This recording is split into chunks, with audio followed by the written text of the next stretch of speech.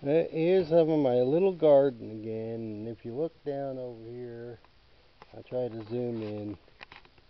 You see there's a little uh, tomato down on the ground, and it's uh, been ate a little bit. I'm gonna go go around here. Uh, you see some red stuff now. I just put some hot uh, cayenne type pepper, but you can see there's a another whole tomato uh, that's been knocked down, and Some critter got six of our tomatoes and there's a, one of the peppers. a whole plant over there that has been um, bent over. Now, I Yeah, believe, the tomato is missing from the one Lewis gave us. yeah, well that plant is almost ate and gone. Yeah.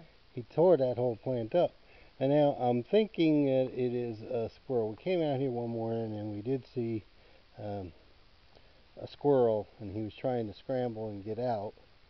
And Maggie was freaking out trying to get him. So anyway, I took these uh, hot pepper stuff and spread it around uh, because it's supposed to help to stir uh, squirrels. Um, there is some thoughts as to potentially, um, since there was a pepper that was ate, that it might be mouse. We certainly have a possibility of mice, but I don't see uh, any indication. But you know, we have this wonderful uh, Deer fence.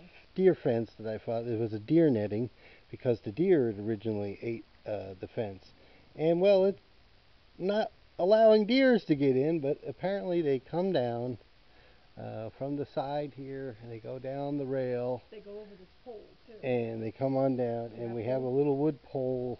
the squirrels. Uh, we have a little wood pole over here. Where is it? And they come up. Anyway, they go up this pole.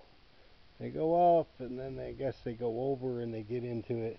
And there's a couple space. They're really smart little critters. I don't dislike them. I just don't want them to eat up my garden. So Give them seeds. yeah, well, I. I, we got a we got a feeder really for the birds, but the squirrels get in it.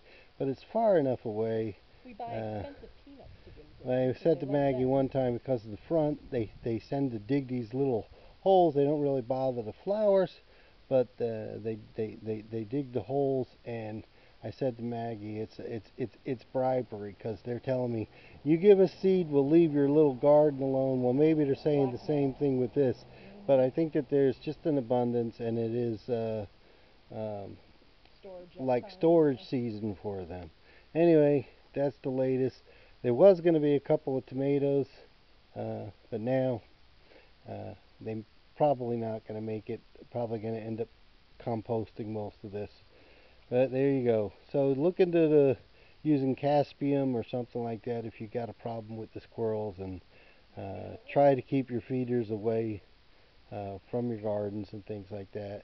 I, I like I said, I don't dislike them, uh, but uh, yeah, um, it's a little disappointing. You finally got some uh, stuff growing, and then they decide to come and eat it. But it is their time of the year to forage. There you go. Bye now.